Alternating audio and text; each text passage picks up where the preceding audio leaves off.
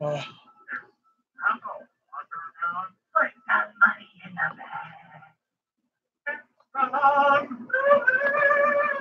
Hello, everyone. You too. It's me, Mike. Wow. Sorry about. And then say Stephen Hillenburg. Get? Am I? The creator of SpongeBob SquarePants. He died. You get?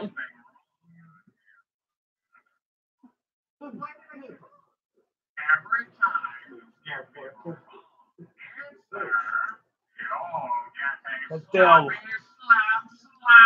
yeah. I'm just glad.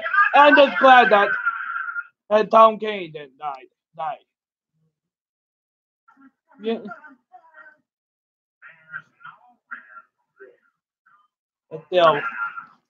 Yeah. Like having the direct Victor Hormary die. Oh, bad example. Yeah. Because uh, Wes Craven died in 2015. Yeah.